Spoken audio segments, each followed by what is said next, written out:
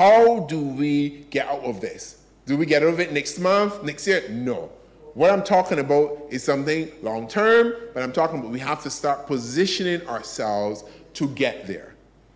So, what does it mean when I talk about um, the new economy? What does it mean when I talk about uh, service zones? What does it mean? Do I talk about new earners?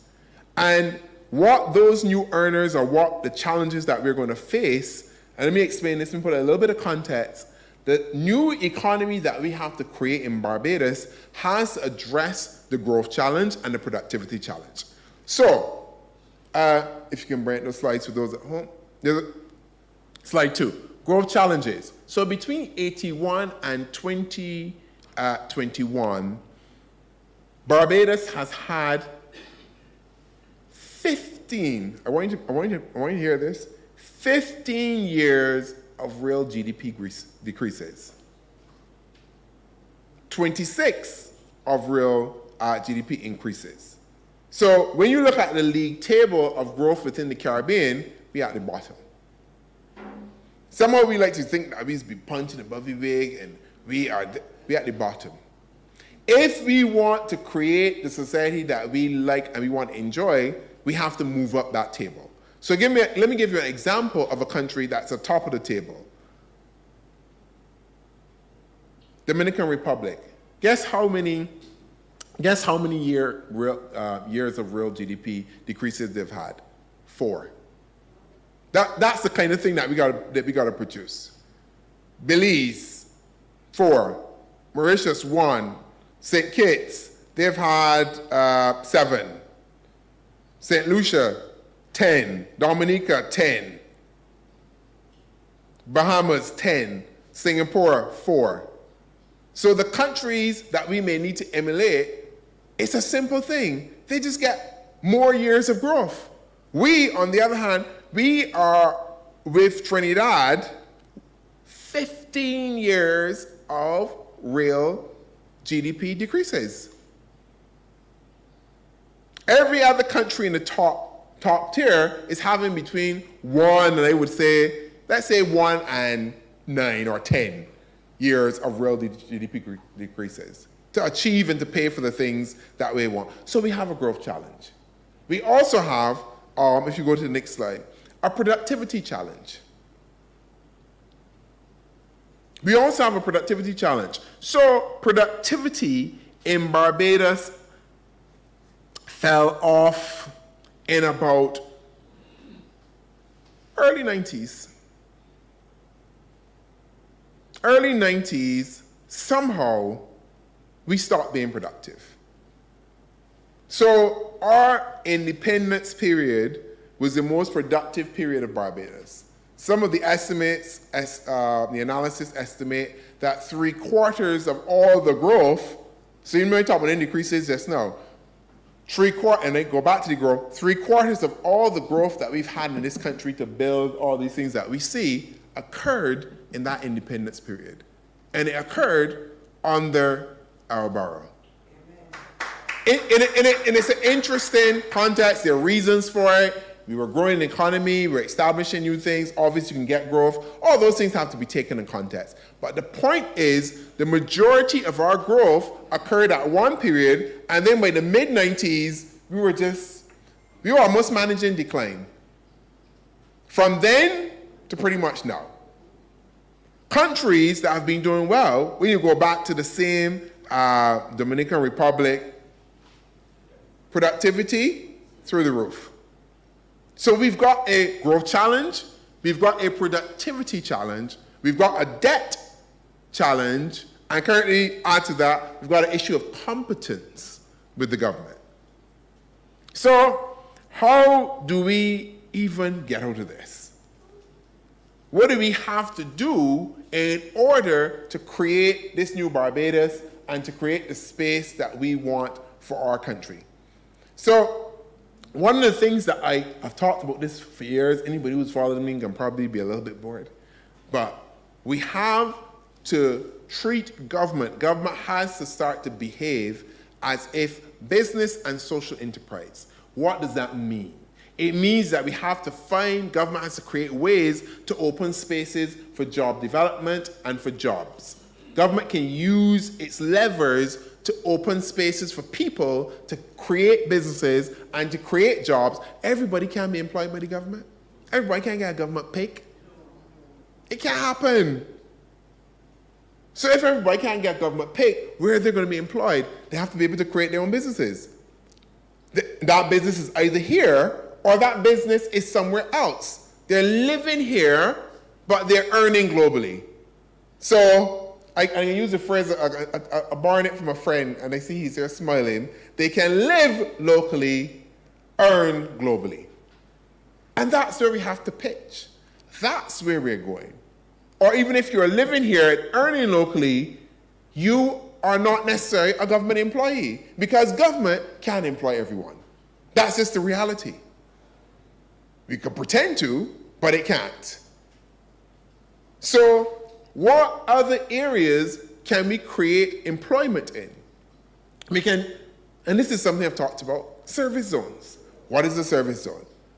How do we, how do we kind of uh, rocket boost our, our, our, our, financial sector and our international um, business sector? And how do we create new spaces for new jobs? Now, a service zone is not simply trying to repeat um, early pre and post industrialization by invitation and the exclusive economic zones uh, that we had, which, like tourism, can contribute to economic growth but do not contribute to economic development. Realize there's a difference there. Because there's no technology transfer, there's no innovation. You're not creating a learning economy when, you, when, you, when, you're, a, when you're a tourist-based economy. So tourism can create the ability to pay for things because you get foreign exchange, but there's no transfer of knowledge. We know this. There's no innovation there's usually sometimes no linkages because half the things you want to support the industry you end up importing, so you're taking the same foreign exchange to, to, to drive the industry. So right now, there are people asking the question, is tourism actually contributing to our economic development? Seri serious question. And they're trying to go through the deal, is tourism worth it? That's a serious question. That's something we have to think about. But for now, let's park it. So, what is a service zone? We're talking about a physical space, we're talking about centers, we're talking about hubs that can support finance, banking, tech, shipping, arbitration. They've done something like this in Dubai. The International Financial uh, Center, which is the financial free zone, is a financial hub for the Middle East, Africa, South Asia, or the Shanghai uh, Free Zone and Arbitration Center. You can pull up the next slide. So what is it required to set up a service zone? It requires a set of laws to govern the behavior of the people, businesses in and outside of the zone, and importantly, what you need to do, and this is my, my legal hat on here, you are literally creating a legal space or a system by which an economic system can develop around. That's all it is. You're just creating rules by which everybody can behave in that space. So, what do you need to get it? properly designed incentive packages for mature businesses and startups. So you're not simply trying to give people tax breaks, exorbitant tax breaks, to them to Barbados to dig out we eye, make money, ship it somewhere else, and we still don't benefit and claim my empl- I employing 50 people, so I doing something for Barbados. No, you're not. Our businesses has to employ people. I don't know why we just brag, or the business employ people. Well, obviously you have to. Who gonna work? the ghost, somebody got, you got to employ somebody. So that is not something to brag about. My business employs 50 people. I've come to Barbados and I've employed 50 people. So we're supposed to give you the country, the keys, the kingdom, and everything because you to employ 50 people? No. So the incentive packages have to be realistic to the kind of Barbados that we want to create. No, so it's not simply about giving you tax breaks and exorbitant tax breaks because you are going to come and then we're going to put it in a, in a brochure. Barbados has an international firm AB or whatever, and you know, we're, we're doing well. And then when you drill down, yeah, they employ 50 people, they don't really pay the tax. Corporation tax, you reduce from 30% to base rates of 1%. So the men paying the taxes uh, but you're going to put it in a glossy magazine because you want to look like you're attracting business to Barbados. But how are they benefiting this country? They do not. That's the problem. Now, the development of large scale projects must be tied to the development of the social capital of this country. So if you are coming here and you want to build a Hyatt, what are you doing for Bridgetown? Which school that you going to sponsor? What is the private public sector partnership that will develop to ensure that you start funding a school within your environs? Which labs you paying for? Which roads are you going to pave in the communities around and to your businesses? What community centers will you be building in your area? This is how we have to start thinking about development. You just can't come here and bulldoze a space, build a big high rise, do your thing, make you money. The communities around you are in the same spaces. The schools around you have not improved. You have not contributed to the social capital or developing country. 10, 20 years later, you build a rundown, you pack out your briefcase, pack out your profits, and you go along with your business. And you left and you leave us there holding the bag. The politicians who bragged about creating 100 jobs $200 million in investment. I, I, I just be bewildered when I start talking, you know. Yes, we are doing so well. How? It has to stop. We have to start getting serious about what kind of development do we want for Barbados. Yes, nobody in against foreign investment. Of course, come to Barbados. Of course, build whatever you need to build that is in, in congruence with our laws and our, and our development of our country. But how are you tied in the development of the country? And that is the way that international investment and national development is going. That is what you're talking about when you talk about good corporate social citizens. All that has to be tied in. So, social service zones aren't necessarily about building new edifices of concrete you can use existing brownfield um, sites. And some of the other things that we can do with these zones, you can create arbitration hubs, shipping hubs, logistic hubs. You can offer professional services, attract new businesses, attract new investments to Barbados. You can use it as a space to test financial products, um, build out blockchain or all the technologies that you want, electronic contracts, all of these things you can allow English and New York law to be used. For example, Service Zone could provide for um, a Shanghai arbitration center so that there's arbitration disputes that can take place governing Chinese law. We could be a first. There's no point pretending that China is not a major development partner of the Caribbean and that China is not a major economic power of the world. So how do we how do we leverage that relationship to benefit us, not to disadvantage us? Are there disputes that will be happening within the region with Chinese investments? Of course there will be. Could there be an outpost of an arbitration center in the Caribbean to handle those disputes in the place? Yes, we can do that. The point is, Barbados could possibly be a hub for development for in the Caribbean, Latin America for investment as it relates to China. Service zones have potential to be the next thing. Because what they can do also is that they can create that learning society that tourism did not create. They can be a hub to do all the things attract financial businesses, logistics, arbitration, tech, and you have them sitting neatly in the center. We can find creative ways to create that new economy to drive the development of this country and to pay the bills for the things that we like. So, so one of the key, the key um, things in creating this ecosystem, tax and investment incentives, community investment, simplified customs, planning, because you, you don't want to use greenfield sites, integration into economic areas such as renewables and agriculture, and important, I can't keep stressing this, it creates that learning society. Because if you are coming here and you're setting up businesses and you're doing things, there has to be knowledge transfer. We cannot simply be getting the lowest paid jobs at the bottom of your investment profile. We have to be part of middle and upper management of these companies, we have to be learning things. Because we have to do things. And none of this is new. I don't understand. Sometimes we've been talking about this since the 80s. And we seem not to be able to do anything because we fall back on platitudes and politics. Making big promises which we know we cannot keep in order to simply get a vote, and then when it's done, everybody disappointed.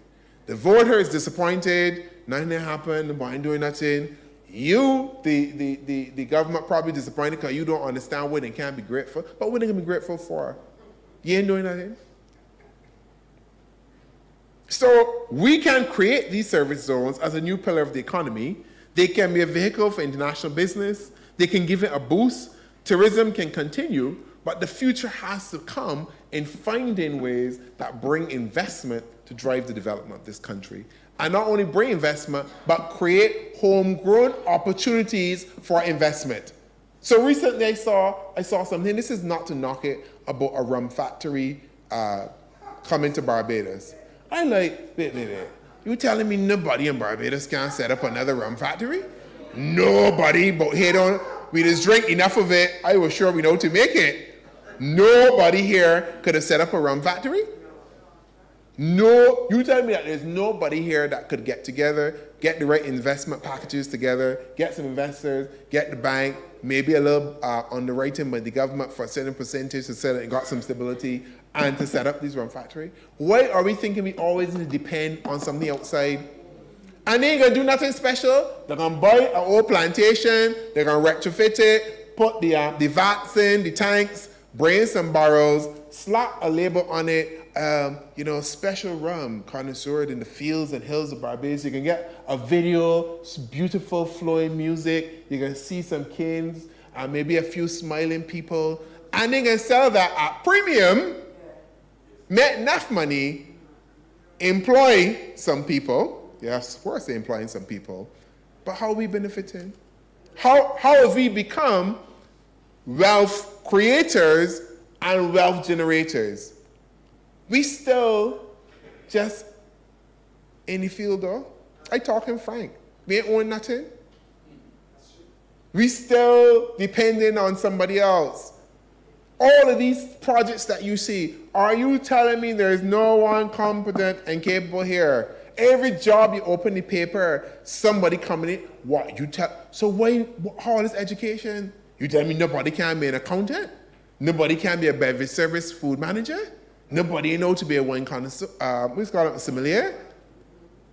Not, oh, every day opening paper. It's ridiculous. How does that create a learning society? And then people leave and we wonder why they're leaving. So, and importantly, this is the, the last bit, um, so I'm getting there. The last bit of this presentation is that I want to talk about some development tests. So if you're going to create a new basis for economic and wealth generation because you want people to own their economy, to drive the country, there has to also be, there also has to be a way to test that. So there has to be a certain series of questions that every single set of investment should have to pass.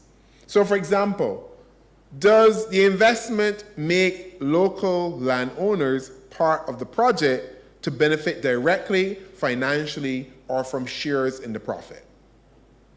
So the people that live in Bridgetown, that live in Nelson Street and cross there by, um, by Bay Street, any of them got investments in Hyatt? They gonna benefit. They might ask them to come in and want to work them as maids and cleaners, but they're gonna benefit from Hyatt. They got shares in that.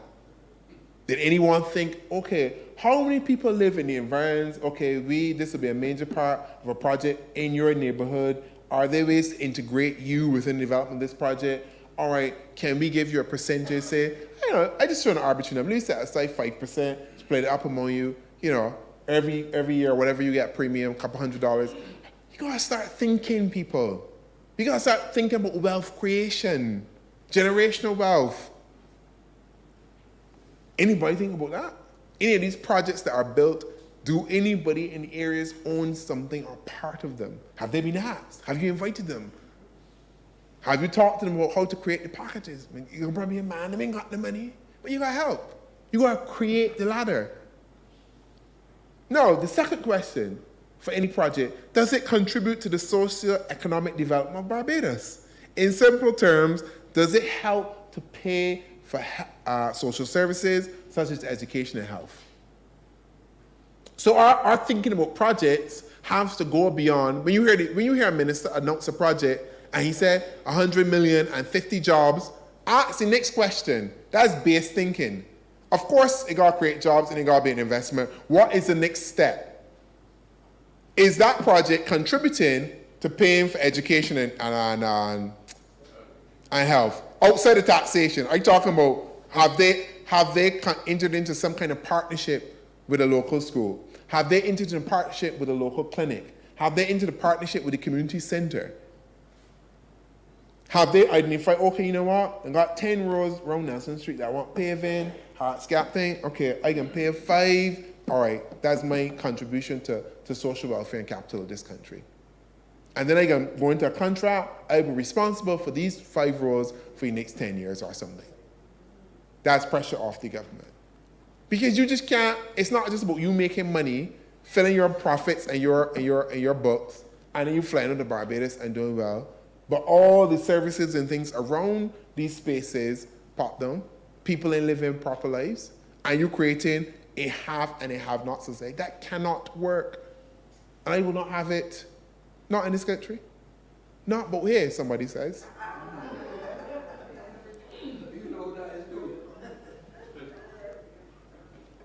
The other question does the project or the investment contribute to infrastructural development of Barbados? So, again, as I was saying, do they ensure surrounding housing, community centers, parks, roads are upgraded, all these things. Does the project provide for economic empowerment of Barbadians? This is not simply, as I said, about providing jobs and bragging about a job, but what type of jobs? How do these jobs pay? You got people in the tourism sector, as we heard last week from, from, from, from one of our colleagues, making $1,700, $1,500 a month but they were bringing somebody in the same job and getting $20,000, a car, tuition for their children at a private school, and a, a, a trip every year back to home. Same job, but they're gonna pay the local person fifteen or seven hundred dollars, seventeen hundred dollars a month, and that person has a family to feed. Barbadians must have opportunities to create and grow existing businesses, not only gain employment. I sick of governments talking about, about employment as if that is something to, to, to always check. Where are the other things? You create jobs, yes, but what are the other things you're doing? How are these people getting wealth? How are they able to then create another generation of their family that will not be dependent on government for handouts? They then will be able to help somebody else. How are they then not going to own not only the mother house, but going to be able to create another house? How are they then not only be able to, to not only go and have a first degree, but their children might be able to do a master? It's always the next level. Their parents might have $50,000 in the bank account, they should have 100 They should got less. Everything has to, in, so investment and creation of a new economy cannot simply be about job creation. That's one aspect, the most basic of aspects. It has to go beyond that. Has to lift, we gotta lift the game. So, does the project, another test, create, provide for wealth creation opportunities for Barbadians in that these projects and these investments have to buy goods they have to procure their goods and services from small to medium sized businesses in Barbados. The government promised this. What, what, what, how much they promised that, that the government should buy um, goods and services from small, and they don't do it? Furthermore, the register that they were supposed to set up to let me know who the contract's going to, well, they ain't set up. We ain't got the transparency there. So millions, we still don't know where these contracts going. We were promised it. We were promised integrity law. Still ain't happened. So all of these are the kind of things that we have to start thinking seriously about in terms of pushing this country forward. So, what is the way forward? Service zones support the development through the outline of businesses uh, to define the zones, tax and customs incentives, and how to measure it. Ensure that the developments are not only for that project but for the wider economy. And you have the government behaving as a business and a social enterprise and not as a victim. We can't guilt the West into helping us. We, it is time, yes, we understand history, we know what happened, we can fight for reparations. That's a separate debate. But we also have to recognize that if our country is going to change, we have to be the drivers of that. The productivity challenge that I just talked about, that is we do. Why we fall off? Why we ain't producing? That is us. Not nobody outside of Barbados. That is a, that's an issue that we have to mount. The growth challenge, that's an issue we have to mount. Why are, is Mauritius and Singapore and Belize and all these other countries, St. Lucia, why are they growing and we are not? Why are we at the bottom of league tables for growth? Why are we having more looking, pushing more years of non-growth than years of growth? The government talks about 10% economic growth, but that's a fallacy. I wish we would start telling truth. We know the 10% that we're going to get, and then the 4% that, uh, that they predicted um, this, this year, we know that that barely makes up for the last five years. So technically, we have not had growth for the last five years. The Barbados economy is probably no more than 1, 1.5% larger than when this government took office. That's just the reality. If you tell the truth, then at least you might be able to figure some way out of it. Stop trying to pretend and load the statistics as if, as if they're real. There's no way that that unemployment number could be true. But when you're pretending, you're not helping anybody. That doesn't help the country. You have to be honest with the country. The very way that I'm honest with this party. Sometimes people give me lashes for it, but that's me. I can be honest with the country. I ain't here to tell you all the lies. You have to then make the decision as to, wait, this, this man telling me the truth. Okay, all right. This, this is something that I could get involved in. This looks like a direction that I, that I can take, that I can, that I can be part of.